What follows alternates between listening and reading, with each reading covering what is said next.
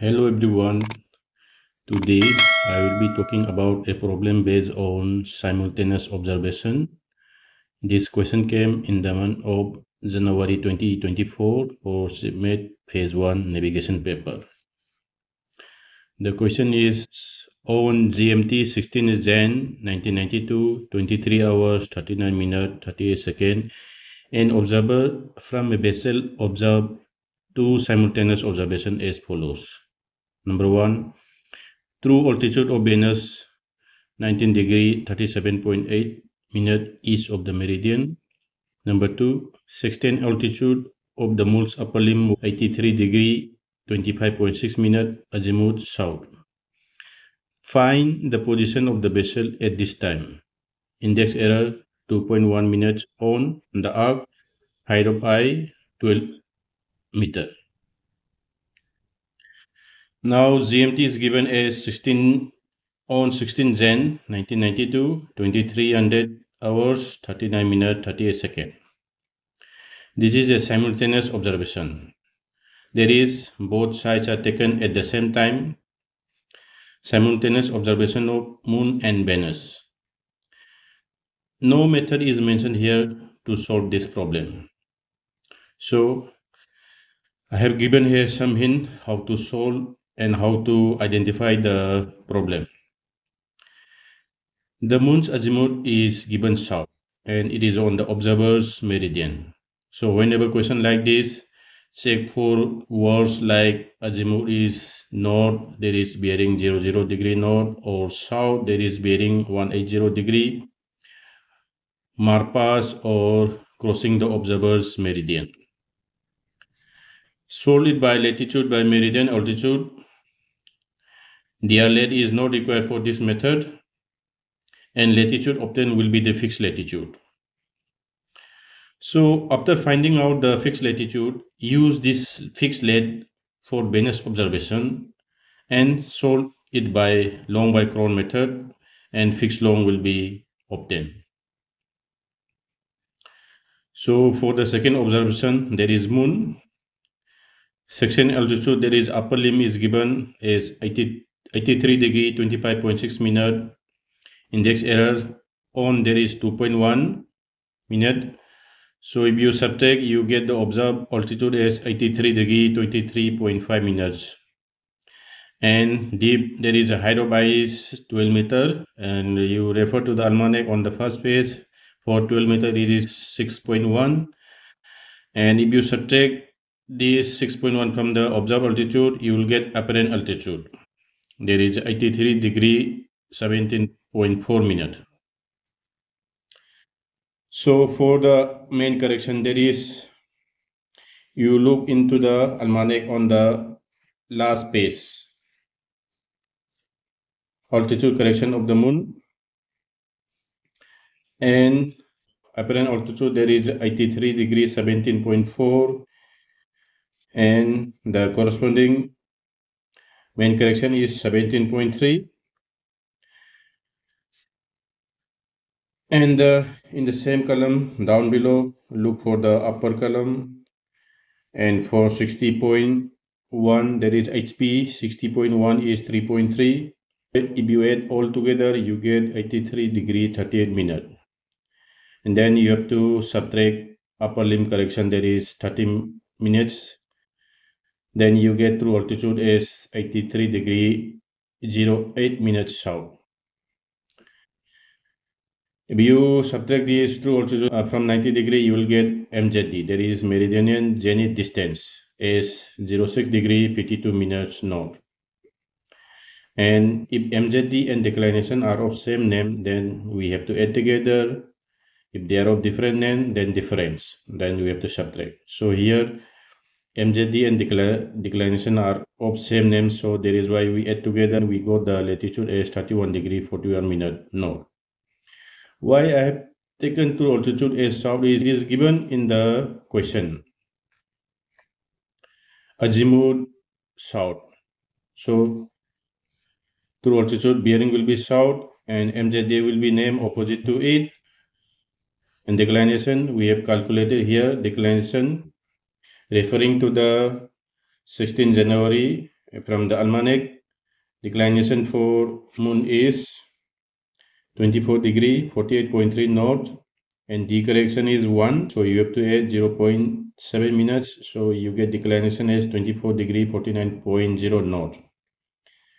So declination north MZD north you add together you get the latitude. GSA also referring from the Almanac on 16 January, there is GSA is equal to 27 degree 12.7 minute increment from the increment table 9 degree 27.4 minute. B correction is 3.3. For 3.3 is 2.2 minutes. So you add together GSA is 36 degree 42.3 minutes. So in this figure, in this figure, resonant horizon diagram is drawn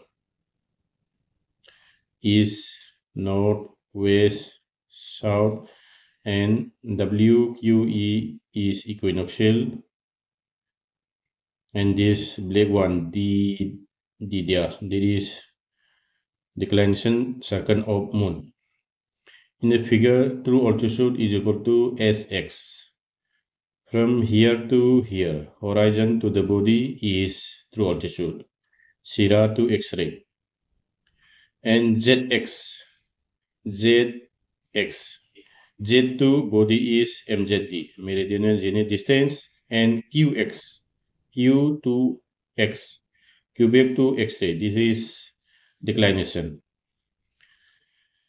Declination circle of moon that is d d dash this one is declination circle of moon. So latitude of observer there is np November to Papa, this is latitude of the observer is, is also equal to ZQ. ZQ. There is latitude of the observer NP is equal to ZQ. This ZQ. ZQ is also equal to ZX plus QX. ZX, that is meridional zenith distance we have calculated here. There is 6 degree 52 minute. And the declination we have calculated here 24 degree 49.0 minute north. So Z to Q, if you add together, you get the latitude as 31 degree 41 minute north. Now we got the latitude. We will use this latitude in the observation of Venus. Venus true altitude is given as 19 degree 37.8 minute, which is east of the meridian. TZD is equal to 90 degree minus true altitude. So we, get TZD as 70 degree 22.2 minutes. So referring to the almanac on 16 Jan 1992, GSA of Venus is 201 degree 36.5 minute. Increment is 9 degree 54.5 minute.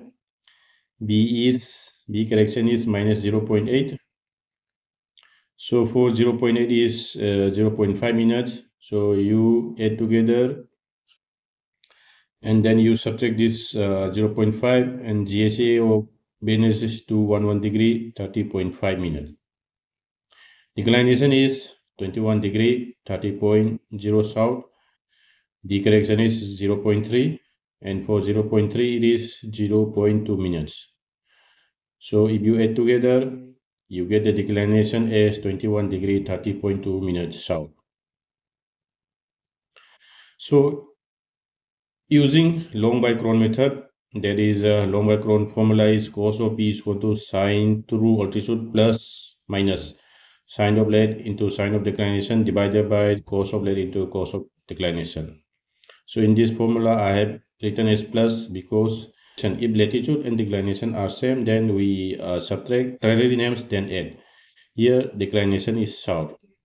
Latitude is north. So they are of contrary names, different names. So we add, uh, so the plus sine is put kept here.